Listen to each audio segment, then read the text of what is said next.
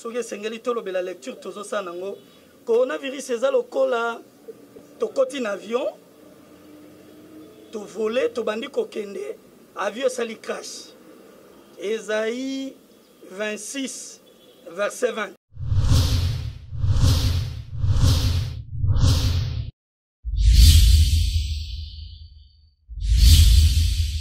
bozali na france angleterre allemagne états-unis d'amérique belgique boza na benin côte d'ivoire angola partout na monde entier bozolanda biso toza en direct ya kinshasa capitale ya république démocratique du congo eza bongo chaîne na bino eco de victoire en tout cas oyo totalisaka bino makambo oyo ezoleka na république démocratique du congo c'est votre émission écho des serviteurs botunaki biso boreklamaki ye mingi akenda wapi aza wapi azoloba te pourquoi par rapport ya situation actuelle oyo ezali ekangi monde mobimba boyebi yango euh, epidémie oyo ya coronavirus eza bongo Docteur Stephanas Kande oyo alobelaka biso mingi mingi na oyo etali message ya grâce boye lokola bo réclamaki ye nde tolobi toluka ye pour que tosola na ye par rapport ya situation oyo tozali yango ya covid-19 Docteur Stephanas Kande mbote na yo mbote na yo ndeko Alain mbote mpe na bandeko nyonso bazwi libaku ya, ya kolanda biso topesi bango mbote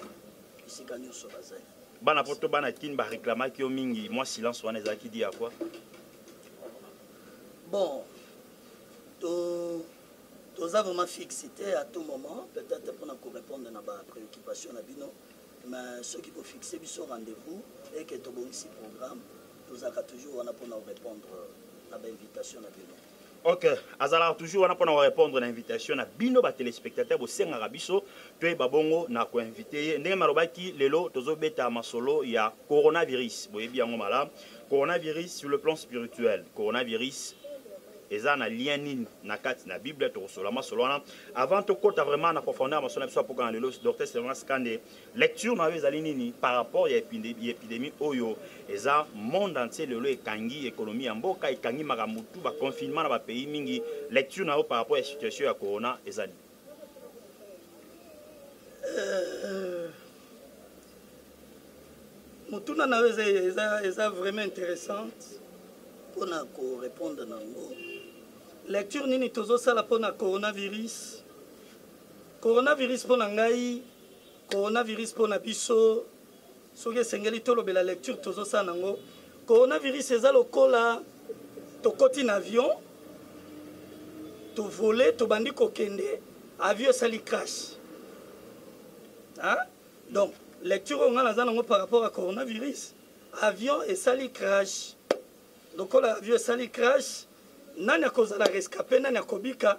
Avion esali crash, nakozwa yango susu lokola euh, na acte chapitre 27 apôtre Paul bakoti na kati ya bateau bazokende na Italie. Mm -hmm. Aha.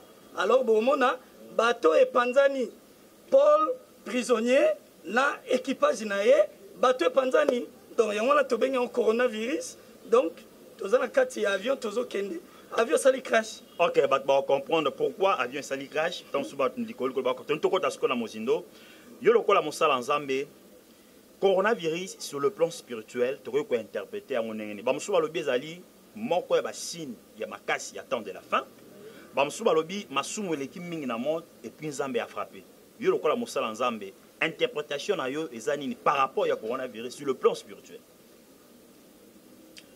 Ndeko Alain, otuni ba question à la fois tolingi tozala un peu souple oui.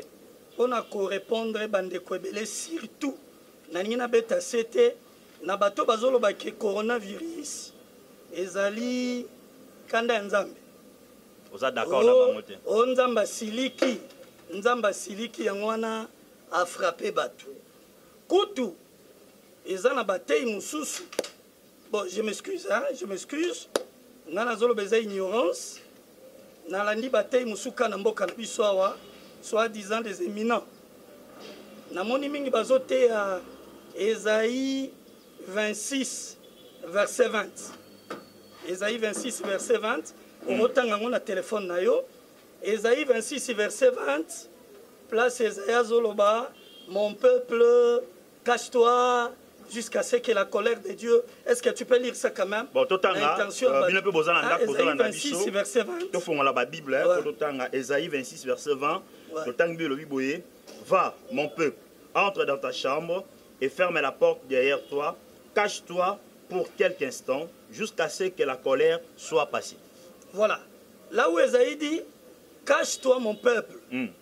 jusqu'à ce que la colère soit passée nayoki ba éminent homme de dieu mm. et puis baleki na chaîne nationale bazwi verset wana yango nde baoteya bandimi yango nde baofortifie bandimi mpona kolakisa que écoute mm. ngai naza pasteur te ngai naza évangéliste te Moi je suis pas un apôtre. Moi je suis docteur. Moi je suis un enseignant. OK. Nga nazo ko interpréter critique pona pesa ngo sens oyo ekomameli.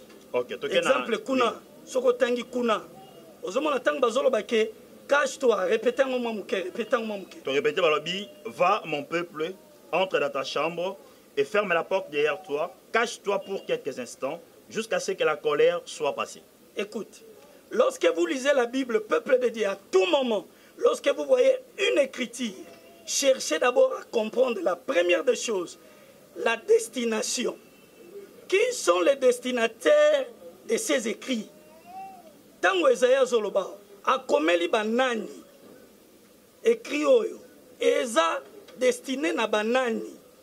Ndeko Alain, Bible oyo ozomona, Bible oyo, Bible, Bible, Bible, liloba ya Nzambe. Mm. Bible nyonso ezo concerne biso te. Eza na place Bible ezo concerne biso, eza pe na place Bible ezo concerne biso te. Kasi naloba te. Toke toke po ngonga ezali, toke mituna ezali oui toke. Kuna ezali Exemple awa eza il s'agit ya peuple ya Juda oyo bakomeli bango lettre hmm. eza na problème ya, ya colère hmm. bible ekomami na baton na baperiode hmm. oyo tobengi badispensation ntango ezaya azokoma lettre na yo eza dispensation nini eza periode nini mpe na minute oyo tozoloba corone ye na 2020 eza dispensation nini po lettre oyo e concerne biso ok mm. docteur stephanas kande bato ebele bazolanda biso na poto kinshasa mobimba république démocratique du congo mobimba basala nzambe minene baleki oyo olobi tosite bakomba bato te balobi ke coronavirus ezali nzambe afrape mpo masumu eleki mingi Alors yo opesi olobi ete interpretation ya passage oyo ya Esaïe 26 20 baza ko interpreta ngo malamu te. Omoni te ke bana Nzambe ba omitulisa ma bamona ke no bato ba bamsu bapesi meme na ba prophetie ke malade ningaki ya par rapport ya mabe ndenge ekomaki. Bana Nzambe balanda nga. Mosali ya Nzambe monene eza oyo ayebani na kombo te. Mm. Te. Mosali ya Nzambe monene ezali oyo azo maîtriser écriture pas azo transmettre Oyo nzambe alingi ye wana nde mosala monene kombo eza publicite ça n'a rien à voir ndeko Alain nangi naloba eloko moko tozwa passage moko ya bible eza simple ntango bible elobi aller prêcher la bonne nouvelle à toute la création nous sommes dans la nouvelle alliance dispensation il y a grâce. Mm-hmm. hein? oui. prêcher la bonne nouvelle à toute la création c'est lui qui croira qui sera baptisé sera sauvé celui qui ne croira pas sera condamné vous voyez mm. ce que nous dans une nouvelle alliance okomona que ok okomona que na kati ya bible hein? kanda ya nzambe oyo bato baloba kanda ya nzambe hmm. kanda ya nzambe nzambe asangisaka yango nyonso asi akweyisa yango likolo ya mwana na ye yesu kristu jésus krist nde moto alata kanda ya nzambe yango emema ye na croix yango akufa liwa ya soni sikoyo moto akondimela yesu kanda ya nzambe ekotombe lisu likolo na ye te donc koloba ke mm. coronavirus mm. ezali kanda ya nzambe ezali excuse nga nangi na choke mitema bato mosusu eza mm. kozala zoba ah bon? c'est-à-dire mm. ne pas connaître les écritures ne pas connaître dieu c'est être illettré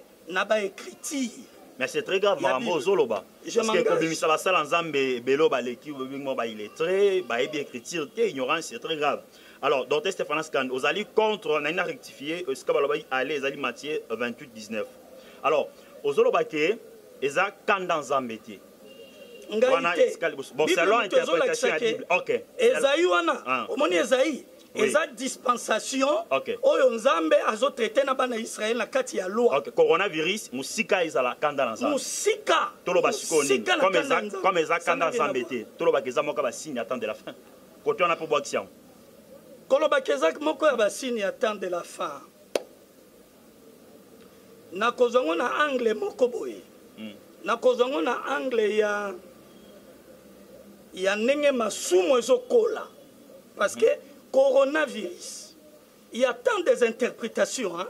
Hmm. je ne vais pas ici je ne vais pas mettre le, le médecin les experts D'ailleurs d'abord c'est une maladie oyo meme ba medecins bango moko bao tatone oyo bango moko ba medecins baa na doute oyo bango moko ba medecins bazotia na tembe na problème ya protocole ya prescription médicale donc nazoyeba te place nini nakoki koklase yango mpo na kolobela basini ya temps de la fin komona comportement ya bato ndenge bazosala parce que nous avons des médecins Naza na kati ya monde medical te. Mm. Mais nous avons des médecins qui ont écrit qui disent que ça doit être une euh, bazolo ba virus wana il peut être artificiel.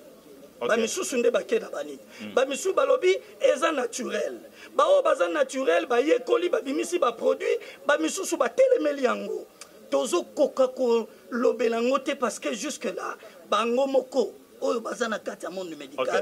bazosalela biso lecture moko concret te donc nous ne savons pas comment situer ça mm. on ne sait pas comment les situer ok na moment oyo mm. par rapport ya situation tozalanga coronavirus rôle ya église eza nini parce que otelemeli selon yo selon interprétation ya yo ya baécriture ndenge bato bapaster mosusu bazoba ke masumu eleki nzambe afrape baprophesie ebimi ebele bamosusu bakomi koloba keno nzambe alakisi nga coronavirus esili coronavirus ekosila eza boyeboye quel est le rôle de l'église na moment actuel face ya situation oyo et surtout bakilutu eza suspendi bato baza na bandako rôle ya église corps du christ na minute oyo ezali Ça, c'est une belle question mm. de toutes les questions que tu devais me poser avant. wana vraimen etindi ngai natala kamera nayebisa bana nzambe mm -hmm. periode oyo ya coronavirus mpo na ngai c'est un bon moment mm. un bon moment un bon moment un bon moment pour ceux qui sont en christ et nazondima que nzambe soki atiki temps oyo atiki yango mpo na bon moment ya makambo olangi naloba Au moment mpo na baoyo d'abord bayebi Yesu, bon moment mpo na baoyo bayebi Yesu babanda kosala comparaison ya oyo Nzambe aloba mm. na oyo bango esengeli bavivre. Bon moment, Dieu a promis au peuple de Dieu, Dieu a promis à l'Église qu'aucun contagion ne pourra s'approcher de leur maison. Dieu a promis.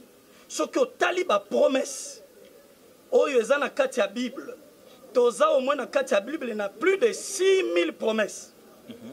soki okoti na nouveau testament ba promesse ekozala 3000 eza bon moment oyo esengeli bana nzambe babanda kozwa sikoyo bapromese oyo nzambe apesa bango babanda kotia yango na mesa bavivre face ya coronavirus bamona elengi ya nzambe eza moma oyo baoyo bandimeli yesu bakotremble te eza moma ya koyemba bakantike eza moma ya kocelebre fidelite ya nzambe nzambe aza fidele nzambe alobi contagie ekosimba yo te mais nalobi te ke toboya korespecte bageste barrière non non là je ne suis pas là parce que geste barrière lorsqu'on nous parle de l'hygiène l'hygiène fait partie de la bible tu vas lire dans lévitique na levitike kutu bana israele bazalaki soki atamboli atamboli akomi quelque part fo alongola sandale na ye asukola makolo asukola maboko donc makambo ya bageste barrière ya propriété ça fait partie de la Bible nous avons un Dieu qui est saint qui est parfait hmm. et puis propriété donc ba geste barrière